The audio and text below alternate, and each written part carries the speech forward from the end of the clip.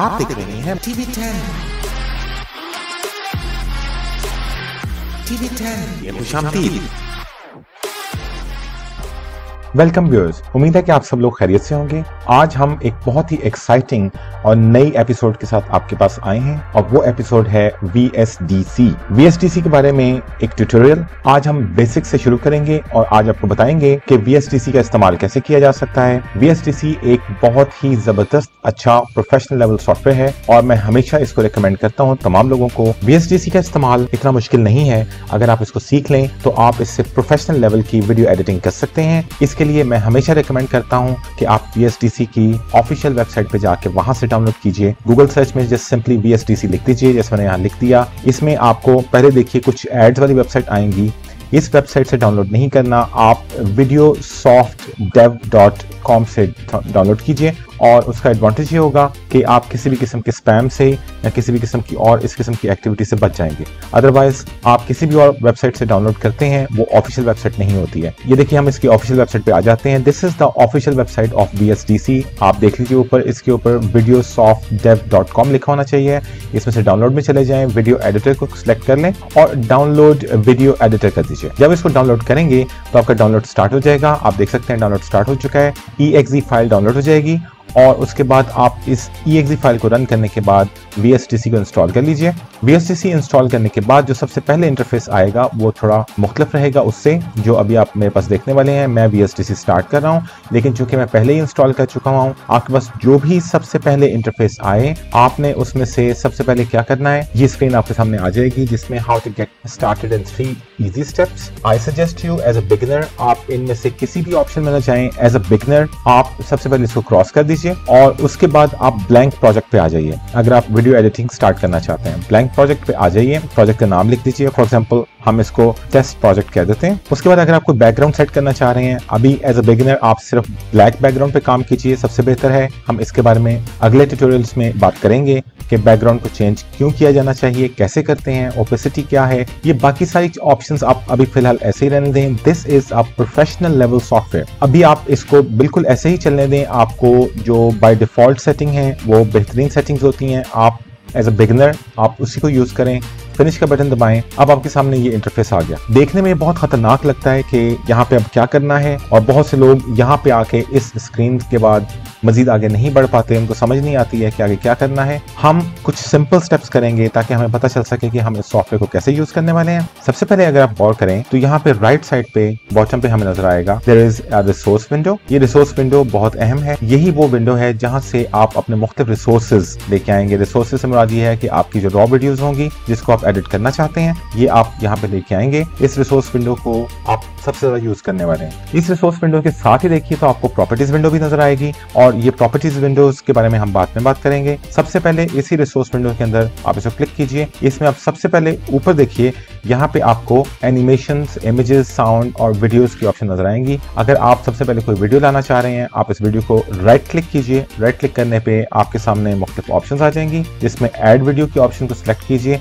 अगर आप इसको एड वीडियो करेंगे तो आपके सामने एक विंडो खुल जाएगी। इस विंडो में जहाँ से आप अपनी कोई भी वीडियो लेके आना चाहते हैं, वहाँ से आप एक वीडियो ले आए। मसल मैं यहाँ से कोई एक अपनी video as a test run ले आता हूँ। इसमें देखिए फ़र्स्ट करें हमारे पास ये एक वीडियो पड़ी हुई है। अब ये वीडियो यहाँ पे आप देखिए कि ये यहाँ पे ज़ाहिर होना शुरू हो गई है। इसका जो भी नाम होगा वीडियो का, वो यहाँ ज़ाहिर हो रहा है। यहाँ से अब इसको क्लिक करके आपने ड्रैग करके अपनी टाइमलाइन के ऊपर ले आना है। वट इज़ टाइमलाइन ये नीचे आपको टाइमलाइन नज़र आ रही होती है। देखिए, ये मेरी वीडियो इस टाइमलाइन के अंदर आ चुकी है। दिस इज़ अ टाइमलाइन इस टाइमलाइन में बहुत सी चीज़ें हैं और बहुत कुछ हैं। जैसे मैं आपको पहले बता चुका हूँ ये एक प्रोफेशनल लेवल सॉफ्टवेयर है और हम इसकी बाकी चीज़ों को के बारे में बाद में अगले आने वाले ट्यूटोरियल्स में बात करेंगे। आज का ट्यूटोरियल सिर्फ़ और सिर्फ़ बेसिक्स है। तो बेसिक्स में आप क्या सीखेंगे? आज हम सीखने वाले हैं कि हम किस तरह से किसी भी वीडियो को यहाँ पे एडिट करेंगे। एडिटिंग में हम वीडियो को कट करना ट्रिम करना फ़र्ज़ करें कि मैं इस वीडियो को आ, कुछ ट्रिम करना चाह रहा हूँ। मुझे ये पोर्शन जो सा वो नहीं पसंद आ रहा। ये आपका टोटल एरिया होता है जो व्यू एरिया है ये व्यू एरिया आप कम भी कर सकते हैं ज़्यादा कर सकते हैं। मसलन इस व्यू एरिया को आप बढ़ा सकते हैं। मैंने इस वक्त व्यू एरिया बढ़ा के कहाँ से बढ़ा सकते हैं? बहुत से लोगों को नहीं समझ आती है कि व्यू एरिया कैसे बढ़ाएँ। अगर आप राइट साइड पे देखें तो यहाँ पे एक जूम का बटन रहता है। दिस इज़ जूम इन आप इसको नेगेटिव को प्रेस करेंगे तो ये जूम आउट होता जाएगा। आपका जो भी एरिया है, जो व्यू एरिया है, जो आप मेन विंडो पे देख चुके हैं, ये छोटा हो जाएगा। तो इसको देखिए कि मैंने नेगेटिव प्रेस किया तो ये जूम छोटा होता जा रहा है और ये बड़ा होता जा रहा है। उसके अलावा हम यहाँ से अगर आप गौर करें कि ये जो विंडो है, इसके सामने इधर इस तरह का एक double horizontal lines parallel lines बन जाती हैं। इन पैरल लाइंस को दबाने के बाद इसको ऊपर और नीचे किया जा सकता है। यानी आप इस एरिया को कम ज़्यादा कर सकते हैं। आपने टाइमलाइन को बड़ा कर सकते हैं। टाइमलाइन के अंदर जितने मर्ज़ी वीडियोस आप डाल सकते हैं, कोई लिमिट नहीं है वी के अंदर। जितनी मर्ज़ी आप वीडियो इसके अंदर डाल दीजिए। अभी मैं इसको वापस छोटा कर देता हूँ ताकि मेरा व्यू एरिया बड़ा रहे। तो ये हमारी एक वीडियो है और मैं इसको अगर प्ले करूँ मुझे ऐसा लग रहा है कि मैं यहाँ पे आके फ़र्ज़ करें। I want to cut this section मुझे इस सेक्शन कट करना है। तो वेरी सिंपल लेट से मैं चाहता हूँ कि ये जो मेरा शुरू वाला एरिया है, ये खत्म हो जाए। यानी मैं यहाँ से इस सेक्शन को खत्म करना चाह रहा हूँ। जिस सेक्शन को भी खत्म करना चाह रहा हूँ, मैं वहाँ पे एग्जैक्ट उस पोजिशन पे अपने इस कसर बार को ले आऊँगा।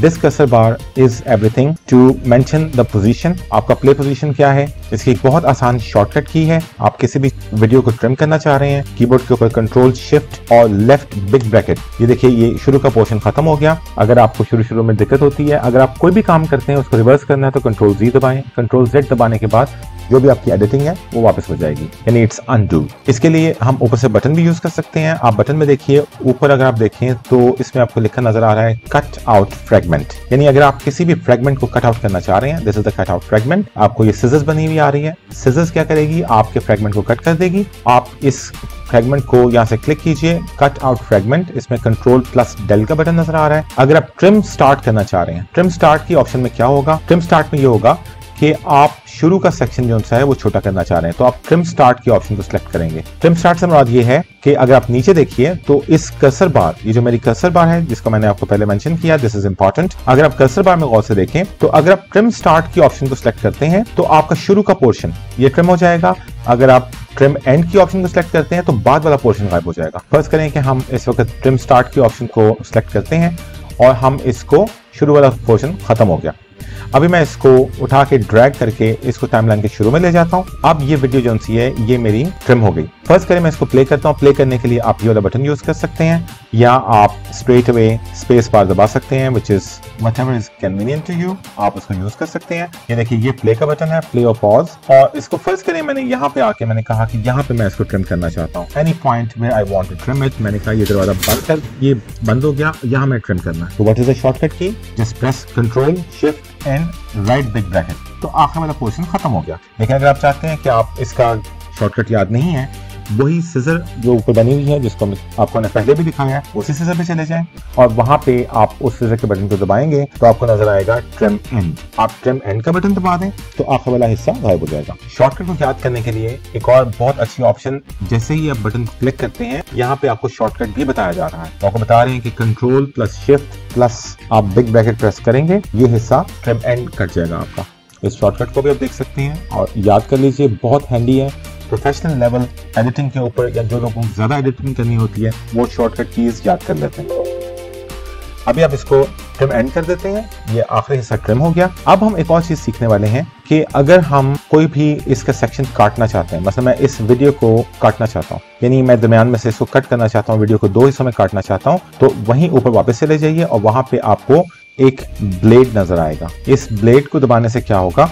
कि जहाँ पे भी आपकी कर्सर पोजीशन है, वहाँ से वीडियो दो पार्ट्स में स्प्लिट हो जाएगी। अगर आप ये देखिए कि मैं इस ब्लेड को दबाया तो मेरी ये वीडियो दो पार्ट्स में स्प्लिट हो गई। इसी तरह अगर मैं वीडियो के पोर्शन को देखना चाहता हूँ तो मैं वीडियो के नीचे से पार्ट को ड्रैग करके कम कर दूँगा। अगर मैं चाहता हूँ कि वीडियो में क्या है, उसको मुझे नज़र भी आए तो मैं उसको ड्रैग करके बड़ा कर लूँगा। अब मुझे नज़र भी आ रहा है कि वीडियो में क्या क्या कुछ है। तो मुझे कहाँ से काटना है? फ़र्स्ट करें कि मैं एग्जैक्ट इस पॉइंट से काटना चाह रहा हूँ तो मैं यहाँ पे ला के अपना कर्सर छोड़ दूँगा और यहाँ पे ला के मैंने इसको कट कर देना है। अब फ़र्स्ट कीजिए कि मैं वीडियो के इस सेक्शन को, जो मैंने बाद में काट लिया है, मैं इस सेक्शन को शुरू में लेके आना चाहता हूँ। तो मैं इस सेक्शन को ऊपर से, अगर आप देखिए तो ऊपर एक, ऊपर जितने भी टैब्स खुली हुई हैं, इनमें से आप एडिट वाले बटन को दबाइए और एडिट वाले बटन को दबाने के बाद क्या होगा कि आपके पास मुख्तलिफ़ ऑप्शन आ जाएँगे। इनमें से आप राइट साइड पे देखिए तो आपको up down to top to bottom नज़र आएगा।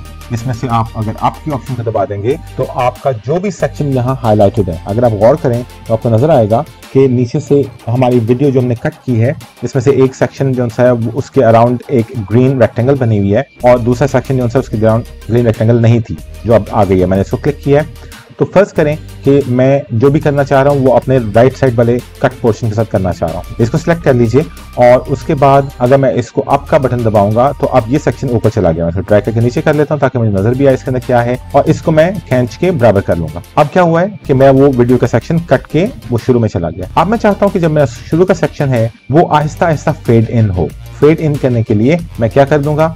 मेरे पास यहाँ मुख्तलिफ़ बटन हैं। सबसे पहले आप एडिटर वाली ऑप्शन में जाइए। आप जब एडिटर वाली ऑप्शन में जाएँगे, ऊपर से देखिए कि एडिटर ऑप्शन और एडिटर ऑप्शन में जाने के बाद आपको मुख्तलिफ़ बटन नज़र आएँगे। इन बटन में वीडियो इफेक्ट्स वीडियो इफेक्ट्स में जाएँगे तो आपको नज़र आएगा ट्रांसपेरेंसी ट्रांसपेरेंसी में फेड इन को सिलेक्ट कर लीजिए। अब आपके सामने एक विंडो खुल जाएगी। ये विंडो देखने में बड़ी खतरनाक से लगती है। लेकिन आपको मैं अभी एज अ बिगनर लेवल आप सिर्फ़ एक काम कीजिए, आप जो भी फेड इन करना चाहते हैं फ्रॉम सीन बिगिन कर दीजिए। तो जहाँ से सीन बिगिन हो रहा है, वहाँ से फेड इन होगा। इसको जस्ट क्लिक कर दीजिए ओके बाकी ऑप्शन को मत छेड़िए। अभी आपको, अगर बाकी ऑप्शन को छेड़ेंगे या कुछ चेंज करने की कोशिश करेंगे तो फिर आपको मतलूबा नतज हासिल नहीं होंगे। अभी हमने क्या किया? हमने फेड इन कर दिया। ये एक नई विंडो नीचे बन गई है और ये बताएगी हमें कि हम फेड इन की लेंथ कितनी रखना चाहते हैं। यानी हम कितनी देर तक फेड फेड इन करना चाहते हैं। इसको चला के देख लीजिए। अब क्या हुआ है कि हमारी जो ऊपर वाली वीडियो है, वो फेड इन हुई है। यानी शुरू से वो नज़र नहीं थी आ रही, लेकिन वो आहिस्ता आहिस्ता नज़र आती चली जा रही है। ठीक है? ये आप देख सकते हैं। इसको दोबारा देख लेते हैं। हम कर्सर को वापस ले गए। और देखिए कि हमारी ऊपर वाली वीडियो आहिस्ता आहिस्ता नमोदार होगी और इसी तरह से आप फेड आउट भी कर सकते हैं। सिमिलर वही काम है वीडियो इफ़ेक्ट में जाना है ट्रांसपेरेंसी में जाना है फेड आउट कर दें, और इसको टू एंड स्क्रीन रहने दें। ये जो आप देख रहे हैं कि डॉट जो है, ये ऑलरेडी टू एंड स्क्रीन क्योंकि हमने फेड आउट किया है तो ऑलरेडी ये टू एंड स्क्रीन पे ही सिलेक्टेड है। इसको फेड आउट कर दिया, और हमने ओके का बटन प्रेस कर दिया। अब हमारे पास फेड आउट की भी एक सेक्शन नमोदार हो गया यहाँ पे। अगर हम इस सेक्शन के ऊपर देखें गौर से तो ये कुछ टाइम दिया हुआ है। आप इस टाइम को ज़्यादा भी कर सकते हैं, बढ़ा के ड्रैग करके इसको लंबा कर लें। अगर आप फेड आउट सेक्शन को ज़्यादा करना चाह रहे हैं तो ये फेड आउट सेक्शन ज़्यादा हो गया। अब क्या होगा? हमारी ऊपर वाली वीडियो ये आहिस्ता आहिस्ता फेड आउट होती चली जाएगी और नीचे वाली वीडियो नमूदा हो जाएगी। दैट्स हाउ इट वर्क्स अगर हम वापस जाना चाह रहे हैं तो हम क्या करेंगे कि ऊपर से लेफ़्ट साइड पे देखिए सीन ज़ीरो लिखा हुआ है। अगर आप सीन ज़ीरो को देखेंगे this is the scene zero आप इसको क्लिक करेंगे तो हम वापस वहीं आ जाएँगे, जहाँ पे हमारी वीडियोस पड़ी हुई थी। अब क्या हुआ कि हमारी ये जो वीडियो है, ऊपर वाली वीडियो ये अब फेड इन और फेड आउट इस पे काम कर रहा है। ये देखिए, ये क्या हुआ कि ऊपर वाली video Aahista Aahista fade in हो गई। और अब ऊपर वाली वीडियो सिर्फ़ दिखाई दे रही है, नीचे वाली नहीं। इस तरह से क्या हुआ कि हमने ये मुख्तलिफ़ सेक्शंस बना दिए इसके। और वीडियो को कट करना सीख लिया। और हमने ये सीख लिया कि किस तरह से हम फेड इन और फेड आउट कर सकते हैं। दीज आर द बेसिक्स जो आज हमने बेसिक रूल्स सीखे वीडियो एडिटिंग के। इसके बाद अगर आप इस वीडियो को सेव करना चाह रहे हैं तो इस वीडियो को सेव कैसे कर सकते हैं? इसका बहुत आसान तरीका है। अगर आप ऊपर देखिए, यहाँ पे एक्सपोर्ट प्रोजेक्ट लिखा हुआ नज़र आ रहा है। आप इसको एक्सपोर्ट प्रोजेक्ट कीजिए और एक्सपोर्ट प्रोजेक्ट दबाने के बाद आपको राइट साइड पे एक बटन नज़र आएगा जिसका नाम है चेंज नेम आपको चेंज नेम में क्यों जाना है? अगर आप इसको कहीं और सेव करना चाह रहे हैं बाय डिफ़ॉल्ट ये अपने फोल्डर के अंदर सेव करता है। आप चेंज नेम करें, जहाँ पे भी आप इसको सेव करना चाह रहे हैं, उस जगह का एड्रेस यहाँ पे ले आए, उसके बाद आप इसको सेव कर दें। आप सेव का बटन दबाएँगे तो ये प्रोजेक्ट वहीं जाके सेव होगा, लेकिन अभी ये सेव नहीं हुआ। बहुत से लोग यहाँ आके रुक जाते हैं, गलती कर जाते हैं, वो समझते हैं उनका प्रोजेक्ट सेव हो गया है, उसके बाद वो ढूंढते रहते हैं कि प्रोजेक्ट कहाँ गया। लेकिन प्रोजेक्ट उनको मिलता ही नहीं है। तो जब आप चेंज नेम करके इसको कहीं पे भी सेव करना चाह रहे हैं मतलब मैंने इसको डेस्कटॉप पे सेव कर दिया टेस्ट प्रोजेक्ट के नाम से सेव का बटन दबाया, अभी ये सेव नहीं हुआ। अभी आपको क्या करना है, आपने एक्सपोर्ट प्रोजेक्ट का बटन दबाना है। जब तक आप एक्सपोर्ट प्रोजेक्ट नहीं करेंगे, ये सेव नहीं होगा। You have to export this project export का मतलब ये वीडियो रेंडरिंग होगी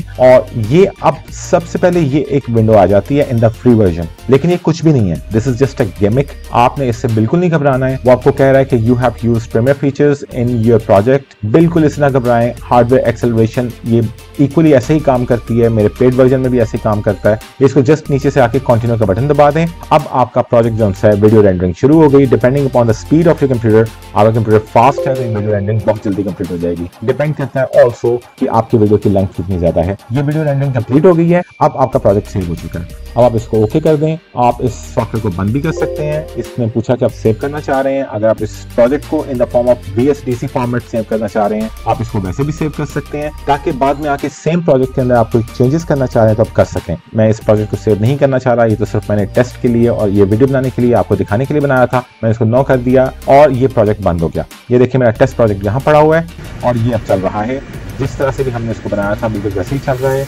उम्मीद है कि आपको ये वीडियो बहुत पसंद आई होगी। आप आने वाले जो इस सीरीज़ के बी ट्रेनिंग सीरीज़ की बाकी वीडियोस भी देखने के बाद you will also become an expert and you will also be able to do professional level editing अगर वीडियो आपको अच्छी लगी है तो चैनल को सब्सक्राइब कर दीजिए वीडियो को लाइक कर दीजिए और अपने फ्रेंड्स के साथ शेयर कीजिए। अल्लाह आपका हामी नासर हो।